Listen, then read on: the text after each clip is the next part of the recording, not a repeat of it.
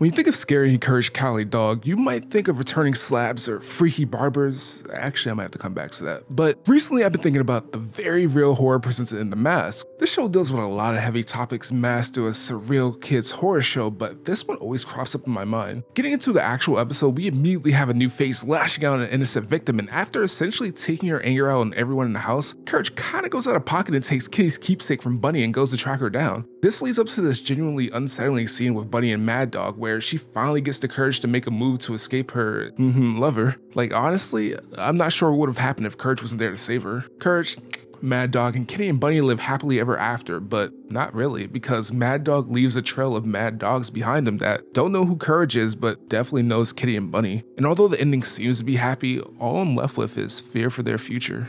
Also, why was Courage freaking out so hard when he saw Kitty without her mask?